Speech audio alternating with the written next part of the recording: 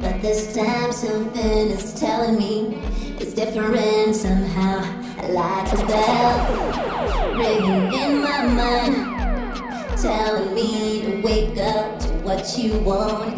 We gonna crash this time. Even if we could survive, what's the point without you